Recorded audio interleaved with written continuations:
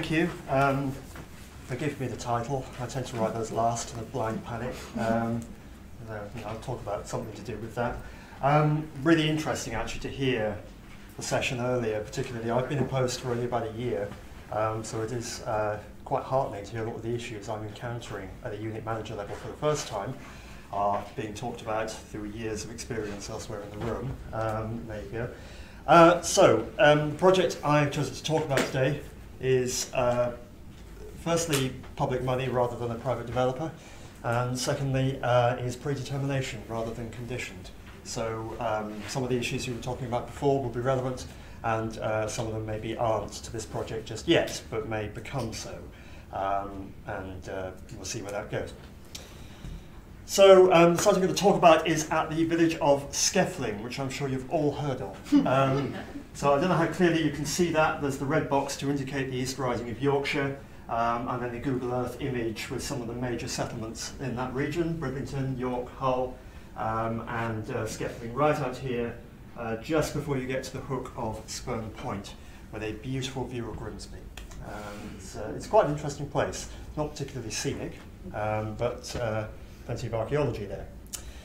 We have uh, we were commissioned by the Environment Agency and their um, partner, Associated British Ports, to assist them in the early stages of assessing the area in advance of a proposed coastal realignment project. Um, the ultimate area, which I have to say changed quite a lot in the year or so before we got out onto site, uh, eventually encompassed 430 hectares, um, which is a considerable area. Um, and uh, the presented quite a challenge because we had to mobilise our site investigation work alongside the geotechnical work and the site engineers. Um, we were given six weeks to do it, um, and the weather wasn't great, uh, which in the clay tills of East Yorkshire can be a bit of a challenge, especially as the light is failing into October, which is when we were out there in 2016. Um, we got it done, um, but uh, yeah, it was interesting. So very briefly, the scheme itself, you can't see that, but mm-hmm. never mind. It's, it's a fairly flat landscape. Okay, I'm sure you probably realise that. Um, they're going to take uh, a new flood bank, about 900 metres inland, up on a slightly higher contour. There'll be new pumping stations, new drainage channels. Um, they're going to do a, quite a large amount of ground reduction and then breach the existing flood defences and let the sea come in. Um, and uh, this is very similar. In fact, this leads on from a project that the Environment Agency delivered at Medmerry, which is at Chichester, which is just up the coast west of here, some of you may be familiar with. Now, the um, primary uh, driver for this is to create compensatory habitat for wildlife to uh, mitigate against coastal squeeze. Um, and one of the additional benefits is it will improve the flood defence for this area. Um, you may not recall in 2013 there were serious tidal surges on the east coast. Um, there was flooding from Scarborough down to into uh, the Lincolnshire coast. Um, and some areas of the farmland here were very badly affected and indeed are still salt burnt and incapable of supporting a crop. So there's a real issue with, with um, defence as well in this area. Um, so this is uh, primarily for us, we were commissioned through the Environment Agency. Associated British Ports have an interest here as well um, because they obviously own the various major ports in the Humber estuary um, and there are development proposals in place for those as well. Um, and so there's an element of land banking going on to try and make sure we've got the replacement habitat in place to allow development and the economic regeneration of the region. So it's, it's, a, it's a big scheme, and there's quite a lot riding on it. So what we were asked to do, um, we were commissioned to essentially undertake an evaluation, but not um, sort of intense, uh, what's the way to put it, a fairly light touch evaluation at this stage. What they wanted to do was get some idea of the character of what they were going to be dealing with. Primarily, they were interested in informing their design so that they could manage their risk.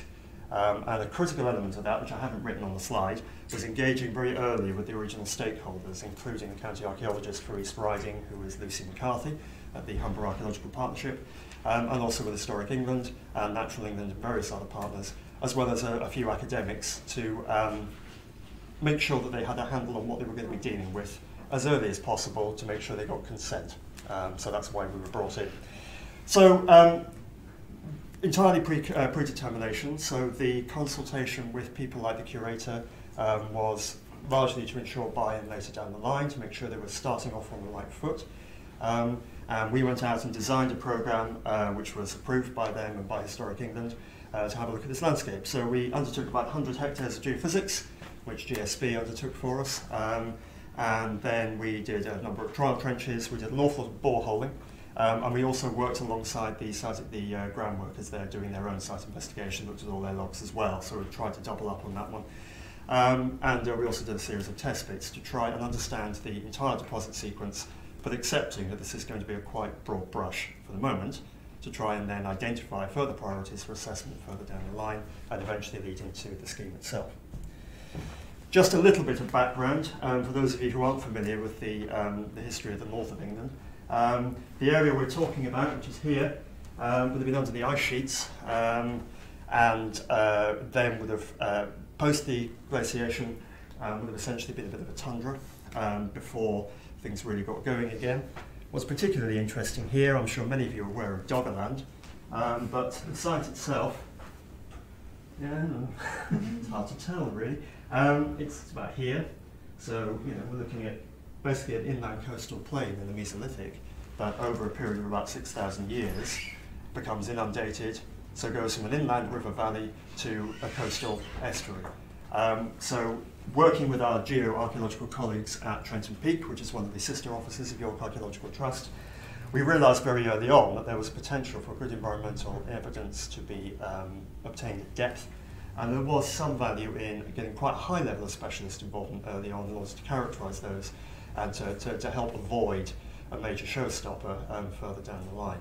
Um, and we were driven in that very much by the Environment Agency's experience at Medmerry, where um, from a different period, but they encountered archaeological assets rather late in the process that caused them a few problems. So this is what was inspiring their desire to front load some of the evaluation a bit much earlier than they had done before, um, which I think is quite an interesting idea, and that's why we were involved. Um, some of these slides have a little bit about what we did on our holiday feel about them, mm -hmm. so mm-hmm. I'll just skip through them. Basically, just give a very brief. Um, obviously, happening in the context of a lot of study of this region, particularly the Humber Wetlands Project, um, which we're obviously very aware of. We've been fishing these uh, Mesolithic um, points out of the North Sea for many years, um, and uh, there's been a lot of work in the early prehistoric period in this region. It's quite interesting. If you skip into the Roman period, you'll see that the Romans, nothing happens in this region. You could say that that's persisted ever since. It would be really unfair. Um, the real reason is, of course, as ever, is that nobody's really looked. Um, so there's a clear research gap there. So not only did we have this really important potential Mesolithic and Neolithic story, which you know, came to light in the last 15 years or so, we've also got obvious gaps in what you might consider the more traditional archaeological range um, that we thought might be an opportunity to fill. And of course, we're based in York, which is here. We're very well versed with the Roman archaeology of this region. We've spent 45 years digging it. Um, so this is something we can bring as existing experience in the York office in conjunction with experience in our Trent and Peak office of um, looking at earlier landscapes and deposit modelling. So, um, also, interestingly, East Yorkshire is falling into the sea at a rapid rate of knots and there are an awful lot of um, medieval settlements that are now under the waves, um, and their hinterlands are not remotely understood. If you go to the HER and look for Orwith Fleet, the radius of potential locations for that place is extremely broad, um, and uh, particularly a steer we got from Historic England was quite a lot of interest in seeing if we could tie that down a bit. Um, I'd like to say we had, we haven't quite yet, but we're aware that that's part of the story. We've also got the mysterious story of Ravenser Odd, which is uh, uh, apparently of Anglian origin, so Anglo-Scandinavian, uh, pre-Scandinavian origin, um, one of the largest ports in the north of England, um, but completely flushed away by the tide by about 1400, um, and now an RSPB bird reserve, currently inaccessible because the road at Kilnsea was breached during the 2013 um, storm surges and has never been rebuilt. Um, so bring you up to date with some of the challenges in this landscape. There is also um, petrified buried forest off the coast here. So there's lots of, in the wider region, lots of interesting stuff going back a very long way. Anywho. So, in summary, um, after we've done that work, which we managed to complete within six weeks, um, we found good evidence for Mesolithic coastal deposits, which is obviously of significant interest. Um, storm events as a vision by doing particle analysis for different deposition processes that allowed you to uh, distinguish between sort of gentle alluviation and quite rapid, violent turning over and deposition. And for anyone quizzes me on that, I'm not a geoarchaeologist, so please. Um, we also find significant bands of, of, peat formation during the Neolithic period, which is um, perhaps not unexpected but quite important. Um, and a lot of this is coming from the borehole work that we were doing um, and the deposit model that we built. Um, later prehistoric activity was surprisingly scanty um, and really only evidenced by residual material. but we were well aware from the desk-based work that we'd done earlier in the process that there are Iron Age and Bronze Age settlements known from immediately north of the scheme area. Um, and brings you back to the scale of the work we were doing at this point, which in landscape terms is very small. So we're really only characterising it at this moment. Um, it's a good Roman archaeology, which I'll come on to a little bit later. And we did find a little bit of these um, medieval hinterlands, um, which you know, will allow us to focus further work on those and try and define them more effectively. Um, and perhaps most importantly, underneath the current tidal defences, we think we've got evidence of earlier ones. So some of the deposits are coming back with a 12th century date, and some of them are coming back with a 7th century date, which is obviously quite interesting. Do we have a buried land surface surviving purely under the original embankment? Do we have anything significant, or do we just have a deposit of soil that happened to be laid in the 7th century? We don't know clearly, but these were the Environment Agency was very keen that we flag these potentials up very early so that we can start to factor them into the process so we're not hitting them later on. So, um, picking up from some of the discussions about the process, uh, we think went through six iterations of the project design, um, each with a subtly different tedious photograph on the cover.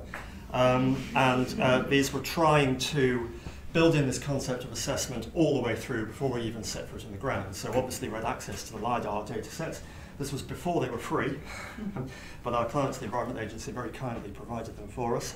Um, and our specialists at Trent and Peak and also the external geoarchaeological specialists we use, Andy Howard, who I'm sure most of you have come across, um, were involved very early on to help give us a steer, to help us design something that would then go on to characterise these effectively. Um, so we're trying to be reflexive all the way through the process. Um, you'll notice there's a big gap in the middle, because at this stage they weren't intending to develop that part of the site, that came in a lot later did cause a few headaches when we dealt with it. Um, you'll be familiar with LiDAR data, lower ground, higher ground. Very early on the potential for a tidal inlet in that central area. And when we looked at the finer resolution, we began to have a go at mapping some of the paleo channels, and this was my former colleague, Dr. Sam Stein, who was working with David Knight. Both of them have done extensive paleo channel mapping in the Derwent Valley, and so we're drawing on that internal experience to bring some of that knowledge to this site, um, and again helped us target some of the further work. It's really quite interesting. These little islands are uh, glacial till poking up out of the alluvium.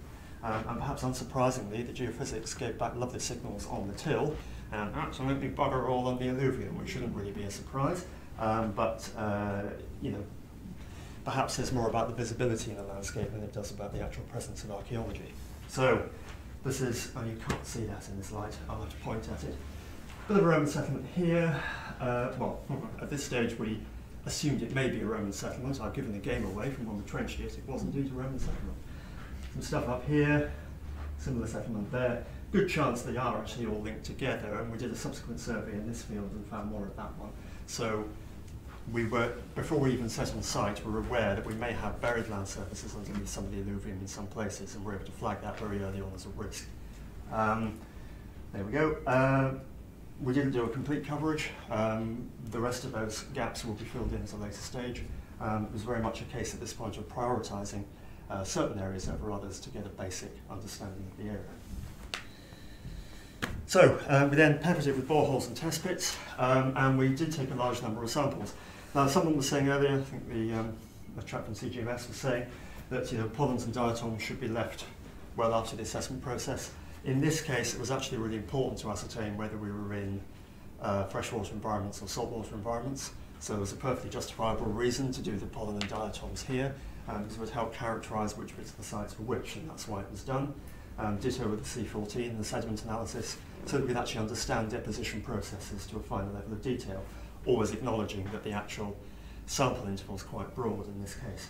Um, so again, we had our specialists involved while we were actually on site, both our internal GeoArcs and the external labs. We had uh, constant liaison with them to make sure we were getting the right data for them.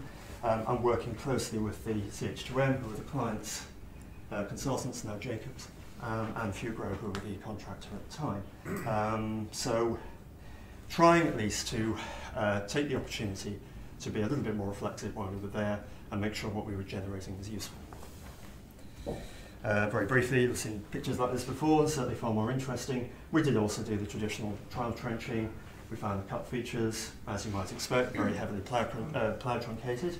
Um, but you know, we did receive quite a nice assemblage of largely Roman pottery, um, and we did, uh, at the behest of the county archaeologist, and partly because we were already employing him in the context of a different site, get one of the local external specialists, Pete Didsbury, to actually cast his eye over it, just to give us a little bit more of a refined steer um, for these uh, assemblages in this region. Um, and again, that all sets us up we were talking earlier about making sure your specialists are in train for any future phases of work. Um, you know, he's now quite familiar with the site. He's aware that it may come forward at some point. And so if we ask him in the future, it won't be a nasty surprise. Um, and he'll also have had some sight of the information already, which I hope is going to be useful. Um, we also were able to collect quite a lot of ecofactual data. We were finding um, midden dumps of oyster, which is quite interesting, hinting at some sort of uh, agricultural exploitation of marine resource which when you think about where it is shouldn't really be a surprise, but it's a surprisingly underexplored uh, topic in our region. Um, and what was also quite nice is that we demonstrated the geophysics was incredibly accurate in that everywhere we had a signal we got a cut feature, which doesn't always happen as you well know. Um, so it was actually really successful and um, again perhaps earlier than you would normally do, uh, we were bringing in uh, mollusk specialists again to give us that finer environmental grain so we could better understand what sort of environment we were talking about. So what was the output? Um, well, we did produce the uh, doorstop assessment report because we were told to. Um, and it's a fascinating read from cover to cover, and I recommend it to all of you. Um, but what we were also doing, and going back to the beginning of the talk, the, the, the primary objective was to help them manage risk. Um, now, these are the graphic outputs. We produced a GIS, which is the primary output, and that went straight to the client, and they fed that into their design team. Um, but uh, we were able to sort of use a traffic light system to flag up not only where we knew there was material and where it was of significance and perhaps where it wasn't, but also importantly where we didn't have information and where we might need to focus further work in order to refine that data set. So we're trying to assist decision making through our assessment process, I think is what I'm trying to get across. Um, we also at this point were highlighting priorities. The leading edge of Sunk Island has about three metres of post-medieval warp, most of which was laid down in 1870. It's not really a research priority, so we're able to write that off quite quickly. But the reason we looked at it was to ascertain that we didn't have deeply buried Mesolithic deposits or indeed sensitive deposits at a higher depth, and we don't. So we've answered that one. Um, so in the sense in which I think that's early assessment doing its job and helping the client identify where they do need to prioritise them perhaps where they don't. Um, so here, we do think we've picked up um, the coastline as it was at a certain point in the Mesolithic period. Um, again, it's three or four metres down, um, so there's a good chance that won't be impacted by the scheme, but nevertheless we know about it. Um, something else really important we were asked to do was identify opportunities for further research, as well as purely to look at mitigation, preservation in situ, and what would need to be done away.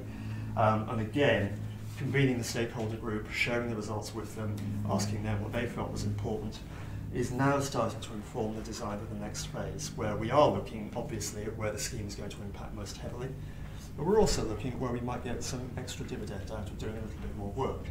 Partly taking our cue from Historic England and the guidance on preservation um, in situ, and the idea that when you've got an opportunity, you want to characterise these things, even if you're not necessarily going to be hitting them with the whole, but of course, if you flood this landscape, which they're proposing to do, you're going to have tidal energy eroding this landscape now for generations to come. And the impact on what's deeper down is completely unknown. Um, and so there is an onus we feel on assessing that properly so that we can at least try and quantify what is there and perhaps then build a model of what might happen to it when they knock down the flood wall and let the sea in, which is currently slated for the early 2020s.